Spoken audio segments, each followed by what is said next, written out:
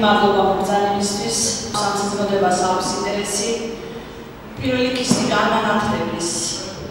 ბატონ მათე ალბუთაშვილის არა მხოლოდ მასწავლებლის, არამედ წერლის, პოეტის, ეთნოგრაფის, საზოგადო მოღვაწის და სასულიერო მოღვაწის ამ მართლაც არაჩვეულებრივი და ძბუნბერაზე ადამიანის დაბადებიდან 152 წესთანავე ვიწყნო მონისტიებში მონაწილეობის სურვილი.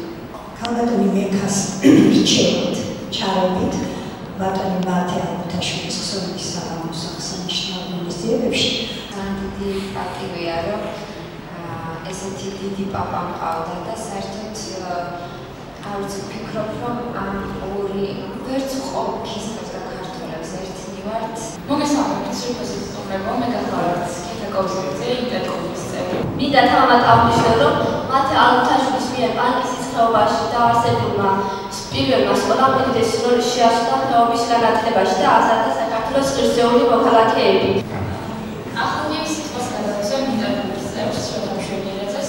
ძირფას სტუმრებო, მოგესალმებით. მე გახლავართ შემოშენი ერთ.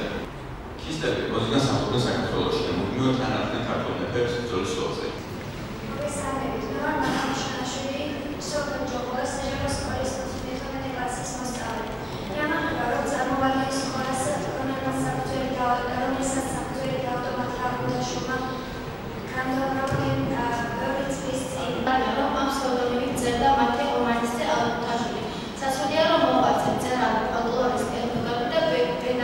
პედაგოგი. დაცისა.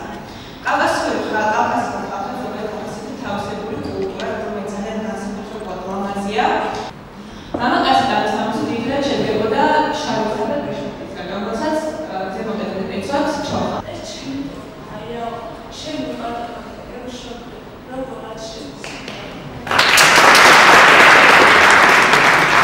მოგეგონება დავაჩი ჯერ ისე ვაფრიანად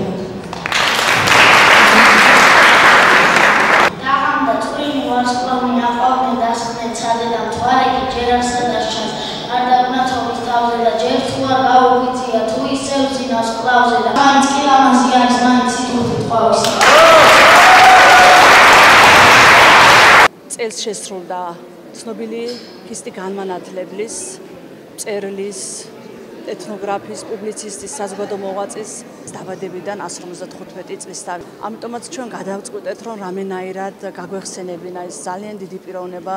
ძალიან მნიშვნელოვანი ეს ფაქტი, რომ მათე ალბუთაშვილის მჭიდრო კავშირები ჰქონდა როგორც ვაჟებშაველასთან, ასევე ილია ჭავჭავაძესთან და დღეს უკვე არის მეორე დღე ამ ღონისძიებების და ჩვენ ვატარებთ სამეცნიერო მოსწავლეთა სამეცნიერო კონფერენციას დღეს.